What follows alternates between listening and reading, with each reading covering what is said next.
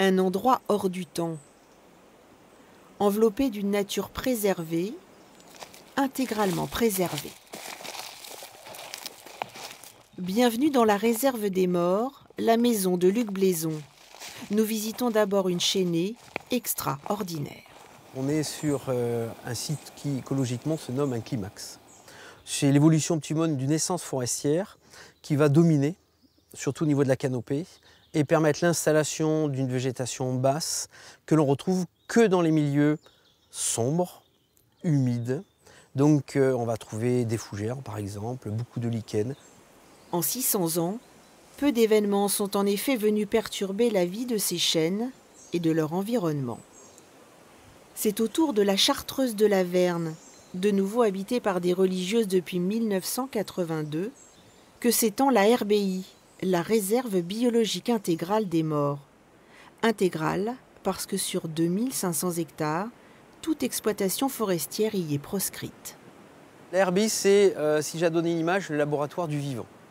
C'est permettre d'avoir des informations par rapport à la biodiversité.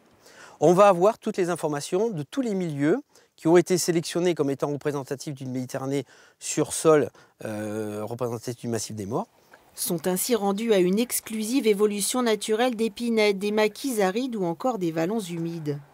Dans ce laboratoire à ciel ouvert, forestiers et scientifiques étudient bien sûr la flore mais aussi la faune. Comptez, observez, 24 heures sur 24. Le chemin est face à nous. Tous les animaux descendent de cette colline et vont obligatoirement passer par ici pour venir descendre dans la châtaigneraie. Donc je suis sûr que si les animaux passent dans cet axe-là, ici, ils sont pris obligatoirement en photo.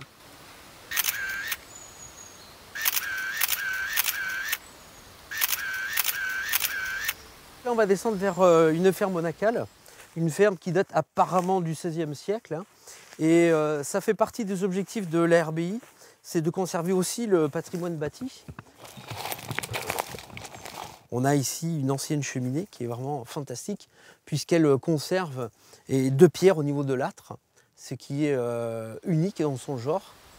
Vous l'avez compris, la réserve des morts renferme quantité de trésors, y compris les plus improbables comme ces cèdres de l'Atlas ayant poussé loin de chez eux jusqu'à culminer à 30 mètres de hauteur.